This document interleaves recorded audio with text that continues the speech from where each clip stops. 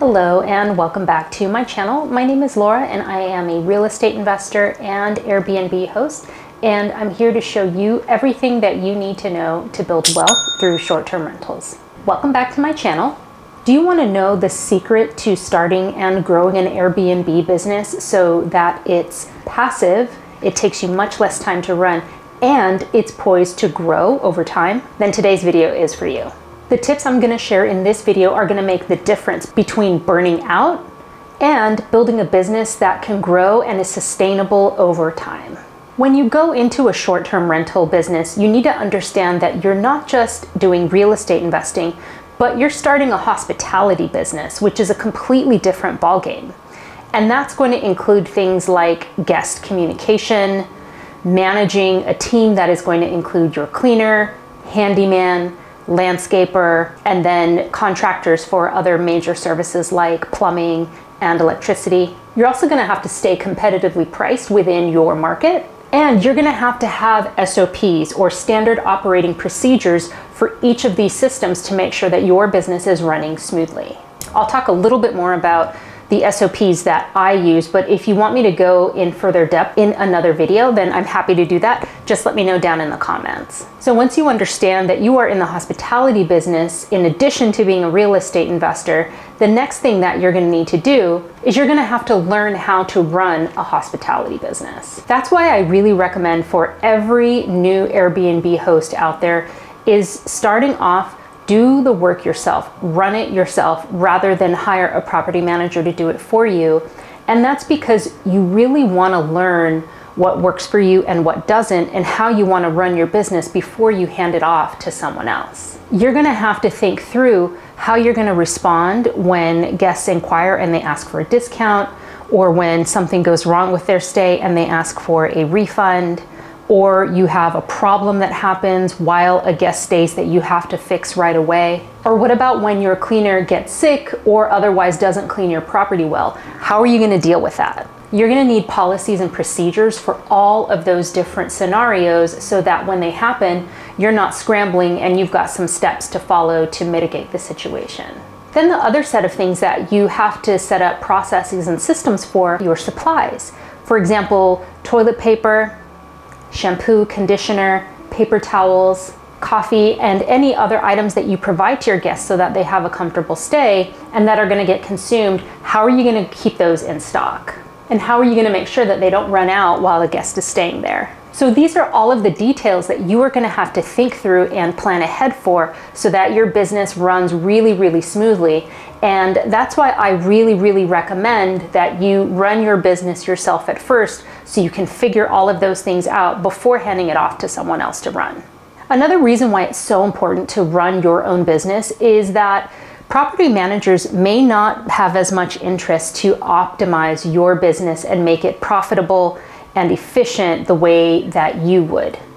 For them, you know, you may just be another customer, another client, and they may not be interested in making sure that everything is run really, really well. So that's another reason why you want to take the time to set up your business exactly the way that you want it so that if you do hand it off to someone else to run or you hire someone to help you, they're going to do it exactly the way that you've designed it. And so this gets to my next point, which is only until you have gotten your business fully optimized is when you should think about handing it off to someone else to run. And what do I mean by that? So not only do you have your team in place and they're working really well, you have figured out your uh, supply of stock, it's always in stock and, and there are no problems with it running out but you've also completely dialed in your guest communications and everything is smoothly running by the time you're ready to outsource. That way, when you hire property managers, if you go that route, they are just going to be implementing the policies and procedures that you've already put into place and that you already know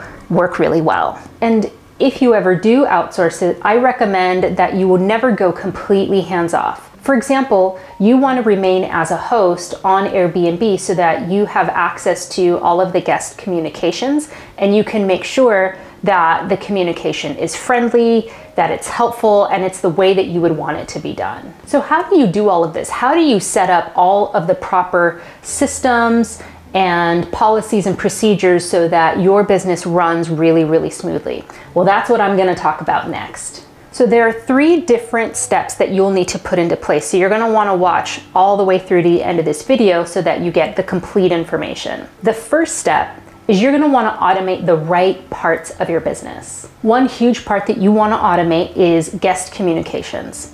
I've got five different types of emails that I send to my guests depending on where they are in the process. And they are a confirmation of their booking. And this lists how many guests, the date, and it asks a really important question if they're bringing any pets. Now, at all of my listings, I allow pets. And so I wanna make sure that they know that and that they've indicated that on their reservation because I do charge a pet fee that accounts for the additional cleaning that's required in addition to the additional supplies that I provide for pets. The second communication I send are check-in instructions and that just tells the guests how they access the property and then any important information about parking in that message. The third message that I send to guests is a note asking them how they like their stay and if they have any questions, and I send that the first morning after uh, they have stayed. The fourth message I send is checkout instructions, and that's usually about 5 or 6 p.m. the evening before they check out, and it just says what they should do with their trash, with their recycling, and how to lock up before they leave. And then the fifth and final message that I send to guests is if they haven't already given me their review, I send them a reminder to uh, let us know if they have had a five star experience by giving us a review. And I have it set in my communication system that they only get that message if they haven't already reviewed us. So that's the first part of the business that needs to be fully automated. The second is pricing. And I use a smart pricing software so that my base price, that is the price at which uh, it may fluctuate based on demand, based on whether it's a holiday or not, um, it may change. I want to set my base price so that it is competitive with the rest of the market for the same bedroom, the same bathroom count, and a similar location as mine, so that I'm not too high or too low. I use PriceLabs for this, but I also, within a 14 day window, manually adjust my prices to make sure that I am fully occupied for uh, those two weeks. So I will adjust based on if I have some vacancies, I may drop the price. Um, if I have, say, uh, a three day stay and then a gap and then a two day stay, I might like give a really big discount for that empty day in between to entice someone to stay. So I'm managing those 14 days to make sure that I am fully, fully booked. Okay, so the second step that you need to take to get fully automated is to establish your standard operating procedures or SOPs.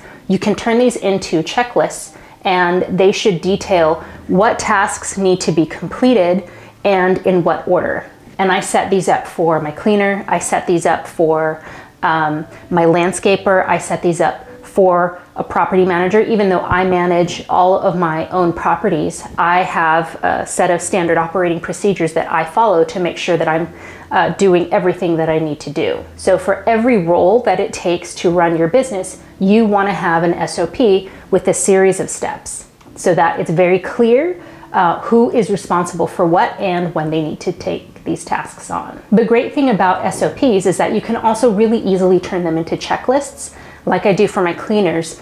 I have a checklist and it's on the inside of our supply closet where we have all of our um, additional uh, stock of supplies and our cleaning materials. They have a checklist and they uh, have a, they're laminated and our cleaner can just check those off and then take a photo of that so that I know for each uh, clean that she's done all of the tasks. And it's a really good way to have accountability for my cleaner. Okay, so the third is to create an accountability system to make sure that your systems are really well run. So I just kind of talked about one uh, regarding the checklist for my cleaner. She checks it off and then takes a photo of it or just takes a photo of the rooms after she's cleaned them.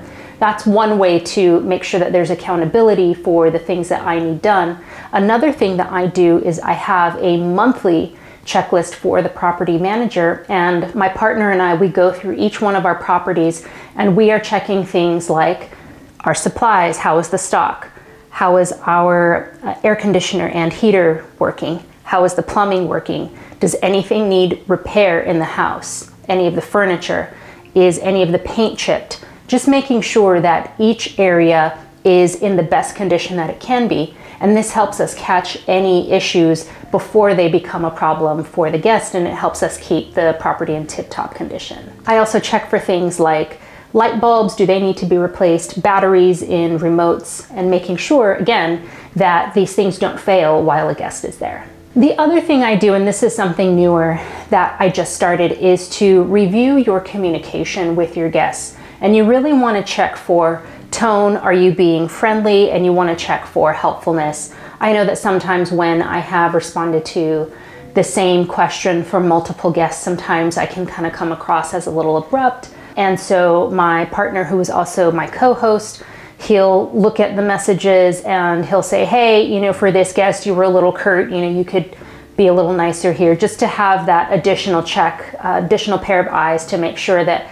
I'm communicating in the way um, that I want uh, my guests to feel. Like I want them to feel welcomed. I want them to feel very comfortable and that they've gotten everything that they needed. And so having another set of eyes to review those messages really, really helps to make sure that I'm providing that. Okay, so then the final thing that um, I'm always checking is, and I've already talked about this, but making sure that I'm fully booked, especially within the immediate 14 day window. So every single day in the morning, um, I or my partner are looking at PriceLabs to see what gaps we have, and then we will set any manual discounts that we want to do through Airbnb, and, and that really helps us to rank high in the search algorithm and get booked. And so that's just one other system that we put in place to make sure that we're maximizing the revenue potential of each of our listings. So that's it.